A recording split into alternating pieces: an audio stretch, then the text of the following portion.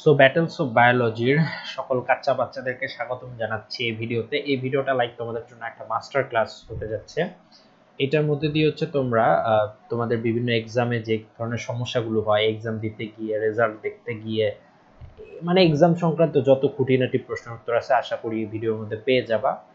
So আমি এখানে একে একে সব দেখাবো। সো তো কথা না বাড়ায় চলো ভিডিওটা শুরু করি। সো তোমাদের ফেসবুকে প্রথমে এরকম একটা এক্সামের লিঙ্ক দেওয়া হয়। এক্সামের লিঙ্কটা তোমরা তো ফেসবুক গ্রুপে পাও, আমি এখানে মেসেঞ্জার থেকে দেখাচ্ছি আর কি। সো আমি যদি লিঙ্কে ক্লিক করি বেশিরভাগ জনেরই হচ্ছে এরকম একটা ইন্টারফেস ওপেন হয়।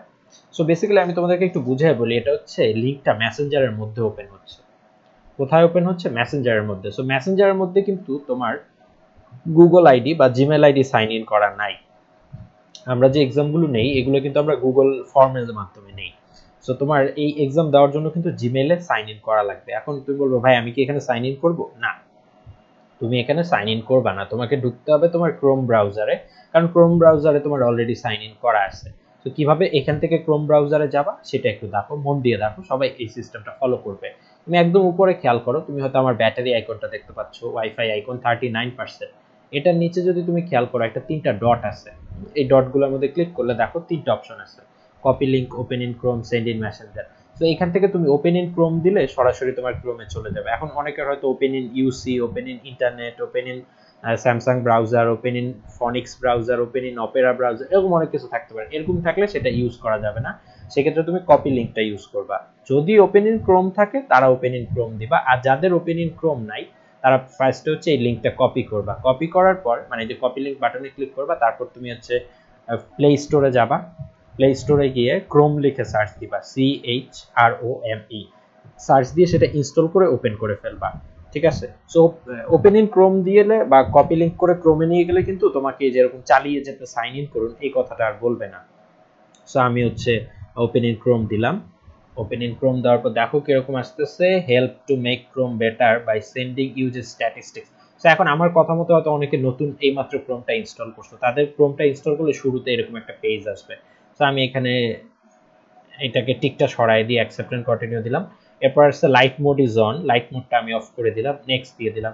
নেক্সট দিয়ে দেওয়ার পর আমারে বলতেছে টার্ন অন সিঙ্ক এখানে আমি নো থ্যাঙ্কস দিলাম। তোমরা ইয়েস আই এম ইন দিবা। যদি আমি নো থ্যাঙ্কস দিছি, তোমরা কিন্তু ইয়েস আই এম ইন দিবা। আমি নো থ্যাঙ্কসটা দিছি একটা কারণে। এই যে দেখো, তুমি না এখন তোমরা বলবা, ভাই, আপনি না বললেন যে ক্রোমে ঢুকলে তো সাইন ইন করতে বলতো না। আপনি তো ক্রোমেই ঢুকলেন, তাও আপনারা কেন সাইন ইন করতে বললেন?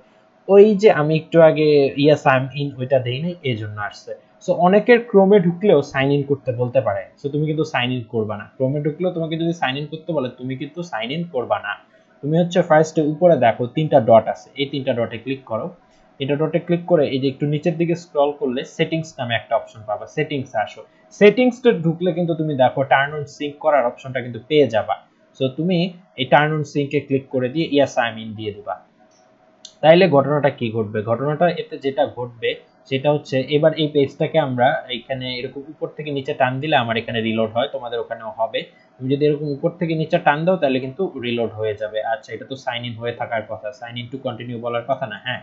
এ দেখো, এখানে কিন্তু আমার এই সবগুলো জিমেল আইডি সাইন ইন হয়ে গেছে। তুমি যদি আরেকবার রিলোড দাও, তাহলে কিন্তু অটোমেটিক সাইন ইন হয়ে গেছে। আর কিন্তু তোমার সাইন ইন করতে বলবে না। আমি এটা ক্লোজ করে দিচ্ছি। এটা ক্লোজ করে দিয়ে আবার ঢুকে তোমাদেরকে দেখাচ্ছি যে তোমার যদি কীভাবে তোমার আসতে হবে এক্সামের মধ্যে। আমি এখানে মেসেঞ্জার থেকে বা ফেসবুক থেকে লিঙ্কে ক্লিক করলে কিন্তু সবসময় এইভাবে আসে। এখানে সাইন ইন করতে বলে। তুমি রেজাল্ট দেখতে গেলে বলে এক্সাম দিতে গেলে বলে মানে খালি সাইন ইন করতে বলে। সো তোমার এখানে সাইন ইন করার দরকার নাই। তুমি উপরে তিনটা ডটে ক্লিক করে ওপেন ইন ক্রোম দিবা, অথবা অথবা তুমি কপি লিঙ্ক দিয়েও ক্রোমে নিয়ে আসতে পারো, কোনো সমস্যা নেই। যাদের ওপেন ইন ক্রোম শো করে না, তারা কপি লিঙ্ক দিয়ে ক্রোমে গিয়ে সেটা পেস্ট করবা। সেটাও আমি দেখাচ্ছি। ধরো কপি লিঙ্ক দিলা, তারপর তুমি হচ্ছে এখান থেকে ক্রোমটা ওপেন করবা। তোমার ব্রাউজার অ্যাপগুলো থেকে ক্রোম ওপেন করে, তারপর তুমি ক্রোমের মধ্যে এইখানে যে, দেখো একটা গুগল আছে, এই গুগলের মধ্যে তুমি এখানে ক্লিক করবা। অ্যাড্রেসটা তুমি হচ্ছে পেস্ট করে দিবে, এরকম চাপ দিয়ে ধরলে। আচ্ছা চাপ দিয়ে ধরার দরকার নেই অ্যাকচুয়ালি এখানে দেখো, এখানে ক্লিক করার পর আসে লিঙ্ক ইউ কপিড দেখছ? লিঙ্ক ইউ কপিড নামে একটা জিনিস আসে অথবা আপনি যে লিঙ্কটি কপি করেছেন, এটা দিলে তোমার কিন্তু যে অটোমেটিক ঢুকে গেল ডেমো এক্সামটার মধ্যে। একদম সিম্পল তাইলে সবাই কিন্তু ক্রোমের মধ্যে ঢুকতে পারবা। আর যাদের ক্রোমে turn on sync option on করা নেই, আবারও দেখাই দিচ্ছি, তুমি উপরে থ্রি ডটে ক্লিক করে সেটিংসে গেলে তোমার এখানে দেখবা তোমার গুগল আইডিটা সাইন ইন করা আছে। যদি না থাকে সিঙ্ক যদি অন না থাকে, কষ্ট করে সিঙ্কটা অন করে নিবা।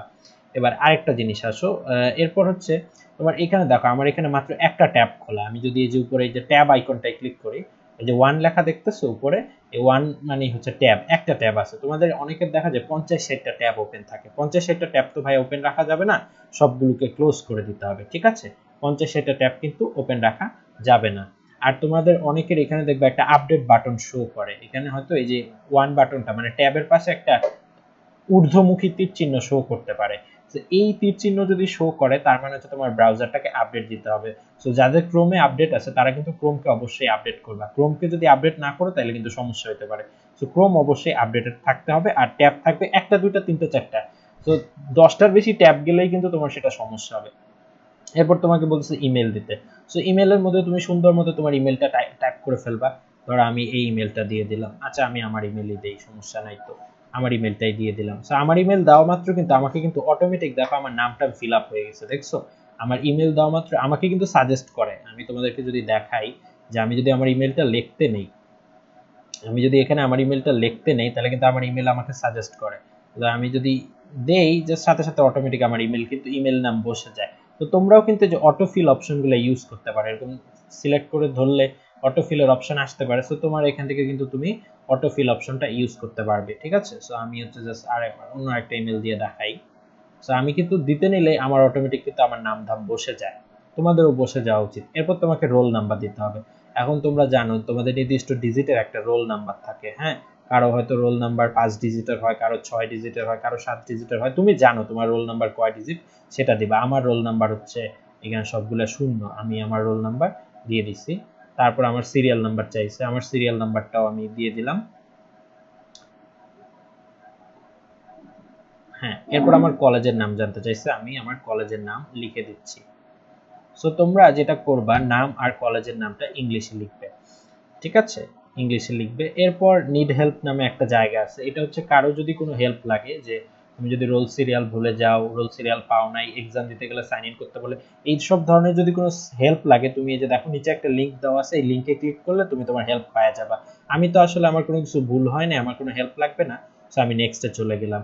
নেক্সটে চলে যাওয়ার পরে এখন আমাকে প্রশ্ন চলে আসছে। আমাকে বলতেছে বাংলাদেশের জাতীয় পশুর নাম কি? আমি জানি, বাঘ দাগাই দিলাম। বলো জাতীয় মাছ কি? ধরো আমি জানি না, কাতলা দাগাই দিলাম।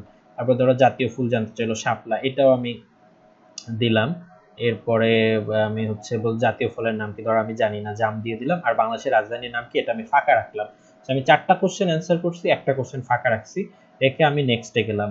নেক্সটে যাওয়ার পরে আবার আমাকে বলতেছে, এবার ফাইনাল সাবমিট দেখো, এখনও কিন্তু এক্সাম সাবমিট হয়নি। তোমরা যেটা করো, অনেকে হচ্ছে এই যে, এই পেজটা ব্যাকে চাপ দিলে এই পেজে আবার আসবে, সমস্যা নেই। এই পেজ থেকে তোমরা নেক্সটে চাপ দিয়ে মনে করো যে, ভাই, আমার এক্সাম তো শেষ না। এক্সাম হয় না ফাইনাল সাবমিশন না করলে যে নীল বাটনে চাপ দিয়ে সাবমিট না করলে কিন্তু সাবমিট হবে না।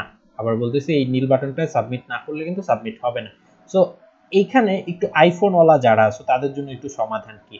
অনেকের আইফোনে তোমরা দেখবা, যারা আইফোন থেকে এক্সাম দাও, তাদের একটা প্রবলেম হয়। প্রবলেমটা আমি এখনও সলিউশন বাইট করতে পারিনি বাট তোমাদের জন্য যেটা একটা ফিক্সড সেটা হচ্ছে যে, তুমি সাবমিটটা করবে না। সাবমিট না করে তুমি কষ্ট করে একবার ব্যাকে চাপ দিবা। ব্যাকে এসে তুমি দেখবা যে, তুমি যেই অপশনগুলো দাগাইছিলা যে প্রশ্নে যে অপশন দাগাইছিলা সেগুলো দাগানো আছে কিনা। যদি দেখো কোনোটার থেকে তোমার দাগানোটা সরে গেছে, ধরো তুমি এখানে জাম দাগাইছিলা, জামের মধ্যে দাগানোই নাই। জামের মধ্যে দাগাইছিলা জামটা সরে গেছে, তাহলে তুমি আবার কষ্ট করে জামের মধ্যে ক্লিক করে দিবা। সো আইফোনে যাদের দেখা যায় এক্সাম দেওয়ার পর সমস্যা হয় মানে তারা হচ্ছে সাবমিটটা করবে না। তারা এই যে এখানে ফাইনাল সাবমিটে আসার পর তুমি সাবমিট করবে না। তুমি ব্যাকে গিয়ে দেখবা। যদি দেখো যে কোনোটা ডিসিলেক্ট হয়ে গেছে, তুমি যে ব্যাকে গিয়ে দেখছ, কোনোটা যদি ডিসিলেক্ট হয় আবারও বলতেছি, কোনোটা যদি ডিসিলেক্ট হয়ে যায়, সেটা তুমি কষ্ট করে আবার একবার সিলেক্ট করবা। কোনোটা যদি ডিসিলেক্ট হয়ে যায়, তোমার ধরো মনে করো বাংলাদেশের রাজধানীর নাম কি, এটা তুমি দাগাইছিলা মনে করো এটা তোমার দাগানো হয় নাই। তো তুমি মানে দাগাইছিলা কিন্তু নিজে নিজে সরে গেছে। সো তোমার কষ্ট করে আবার দাগাই দিবে, আবার নেক্সটে আসবে, আবার ব্যাকে আসবে, এরকম করে দেখতে থাকবা। যতক্ষণ না পর্যন্ত তোমার সবগুলা দাগানো হয়েছে আইফোন থেকে, যাদের আইফোনে তাদের এই প্রবলেম হয়, বাকিদের হয় না। যারা মোবাইল থেকে দিবা, যাদের কম্পিউটার থেকে দিবা, তাদের এই প্রবলেম হবে না। যারা অ্যান্ড্রয়েড ফোন বা কম্পিউটার থেকে দিবা, তাদের হবে না। আইফোন এই সমস্যাটা হয়, কেন হয় বলতে পারতেছি না। এটা সলিউশন পাইলে তোমাদেরকে পরে হয়তো এরকম একটা ভিডিও করে দেখাই দিব। সো এটা করার পর এবার তুমি এই সাবমিট নীল সাবমিট বাটনটা ক্লিক করবে। এখন সাবমিট বাটনে ক্লিক করলে তোমাকে কিন্তু ক্যাপচা চাইতে পারে। ক্যাপচা মানে হচ্ছে তোমাকে বলল যে বাসের ছবি সিলেক্ট সিলেক্ট করতে বলে। অনেকে তো সাইকেল বিমান, তারপর অনেক ক্ষেত্রে হচ্ছে ক্রস ওয়াক অনেক ক্ষেত্রে ফায়ার হাইড্রেন্ট এগুলো সিলেক্ট করতে বলছে এগুলো নিয়ে আমার আরেকটা আলাদা ভিডিও আছে। সেই ভিডিওটার লিঙ্কও কিন্তু তোমাদেরকে আমি এই ভিডিও ডেসক্রিপশনে দিয়ে দিব। সো ক্যাপচা ওটাকে ক্যাপচা বলে বা I am not a robot যেটা। I am not a robot বা ক্যাপচা ওটা কীভাবে সলভ করবে সেটাও তোমাদেরকে আমি শিখাই দিব। এই ভিডিওতে সেটা আর বলতেছি না। সো এখানে তুমি সাবমিট করবা। সাবমিট করার পরে তোমার কিন্তু এটা সাবমিট হয়ে যাবে।